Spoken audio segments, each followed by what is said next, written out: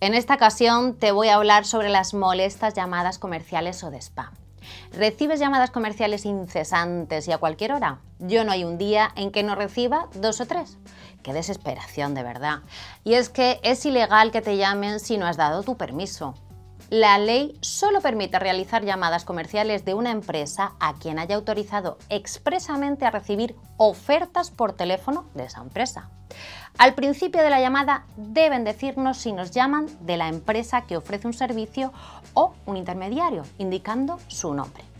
También deben informarnos que podemos oponernos a seguir recibiendo llamadas y cómo hacerlo. Hasta la coronilla de llamadas molestas. Te cuento cómo denunciar.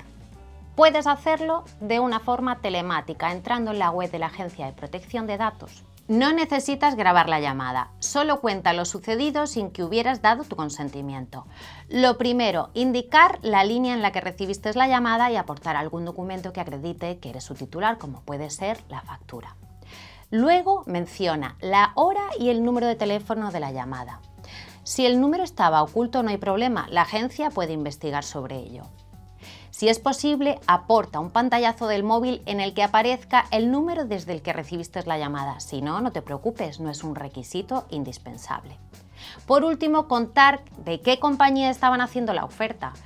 Cuanta más información y más detalles podamos aportar, mucho mejor.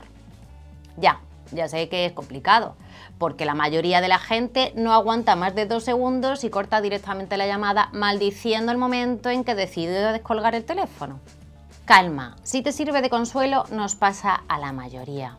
Ya sé que mal de muchos, pero si es que si muchas personas afectadas lo denunciamos y si lo hacemos de forma masiva, es como podemos conseguir provocar sanciones con las que se les quiten a estas empresas las ganas de seguir saltándose la ley a la torera. Es posible que la empresa se niegue a resolver el problema o ni tan siquiera te conteste. Ya lo sabes, y si hacen oídos sordos a tu reclamación, no lo dudes, únete a Facua, porque unidos los consumidores somos más fuertes.